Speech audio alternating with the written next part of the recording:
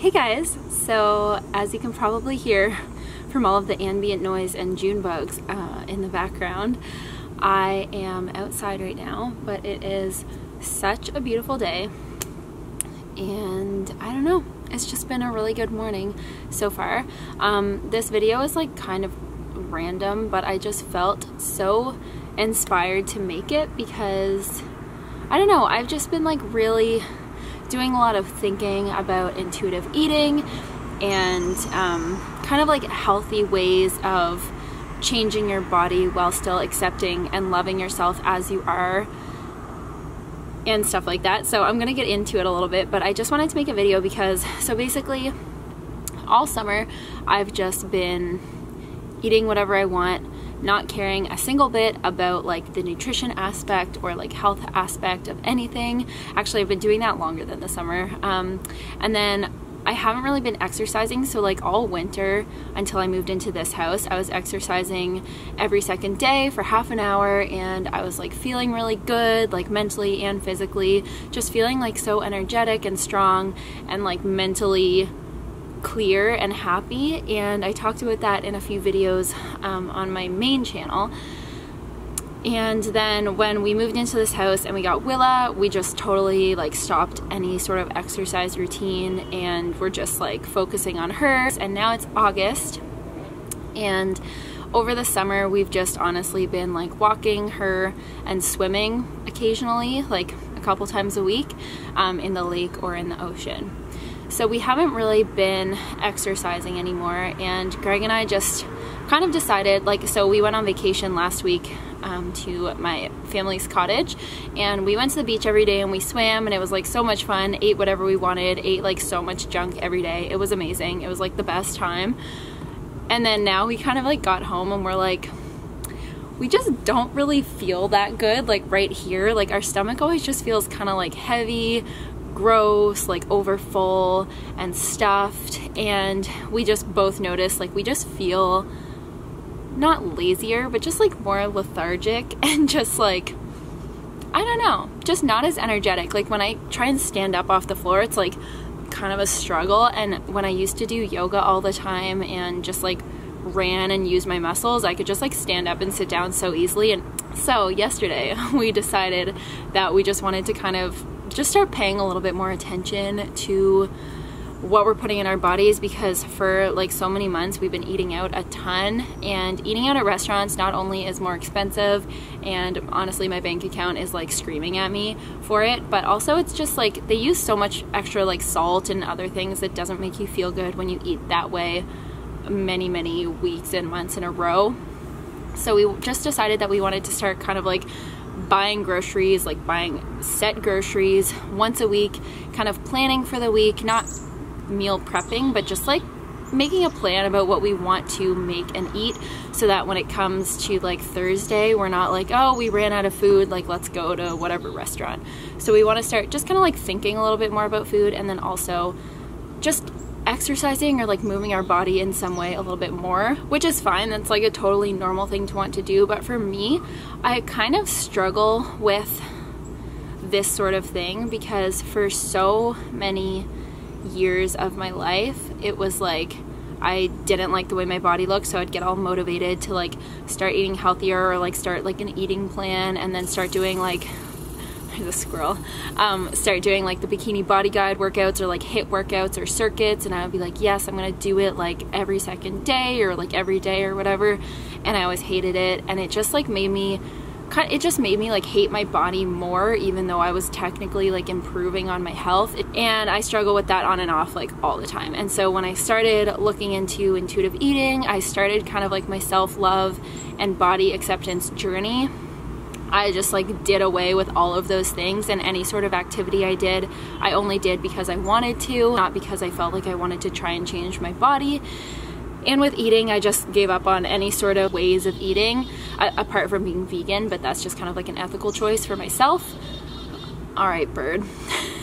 um, yeah, so apart from being vegan, I was just like, I'm just gonna eat whatever, whenever. Don't care what time of day it is, don't care what it is, like just gonna eat literally everything. And that honestly helped me get to a point of self acceptance and self love that I had never been at before. Like my body was bigger than it ever has been and like less toned and whatever but I honestly just let go of all my insecurities and I just felt so happy in my body and I still do but I feel like I'm at the point now where I want to try and find a balance between like maintenance and upkeep of physical activity without getting into the headspace of doing it to look a certain way because that's kind of when I get to that slippery slope of like then deciding that my body isn't good enough right now and then it just kind of starts a vicious cycle. And when my friend Hannah and I did our intuitive eating course that we did back in July there were some people who were asking like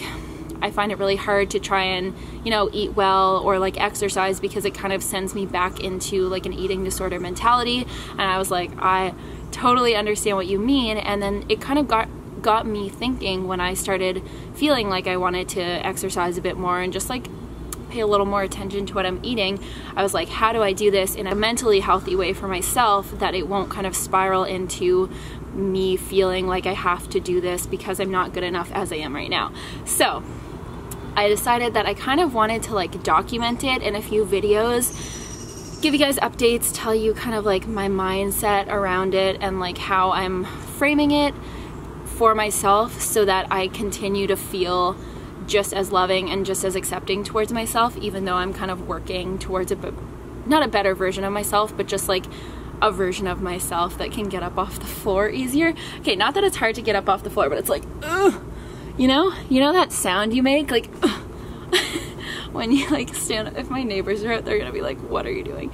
Um, but yeah, it's just that sound you make when you get up off the floor. That's like the way I know that my muscles need some action is like when I start re- like dreading having to get up off the floor to go get something because I love sitting on the floor and whenever I'm like physically active and like doing yoga and stuff getting up and down off the floor is so easy and so that's kind of like my measure of when my like legs need a little bit of a workout. And swimming's like really good and fun but i'm gonna be honest it's not like i go swim laps in the lake and get like a workout. It's more just like swimming for fun so my my muscles haven't really gotten a workout. So basically i want to try and just like document in general how i'm approaching like the food and exercise part of this because i want to show you that it's totally possible to want to feel your best without feeling like you ha- like you're not good enough already and without feeling like you are trying to fix something that's broken. Because you guys know that I believe everyone is perfect just as they are but I also don't think it's like anti-intuitive eating or it's a bad thing to want to just be a little bit more mindful about what you're eating and how much you are being active. So to start it off um, also, I just want to let you know this isn't going to be some big like drastic change at all. It's probably just going to honestly be like a few small things here and there week by week seeing what works and what doesn't for me but I'm just gonna tell you guys kind of how it started off today so um, today I decided so for the last couple months I don't know. Greg and I have been having super like salty savory breakfast like breakfast sandwiches. Tim Hortons just got the Beyond Meat breakfast sandwich so I've had like probably a hundred of those. I don't even know how many. No probably like 20 but um, we've been having those. We've been making our own breakfast sandwiches. We've been having smoothies sometimes but those were like really spike and crash my blood sugar so I usually have a smoothie and then something right after it.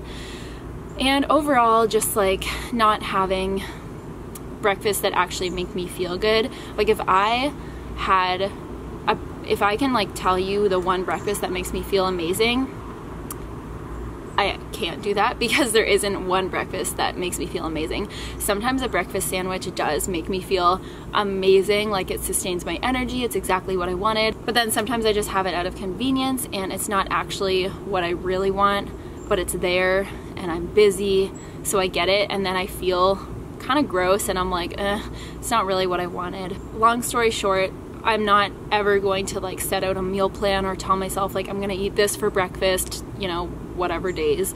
But today I really did feel like having oatmeal. So I had the oatmeal that's on my blog, the recipe, I'll link it below.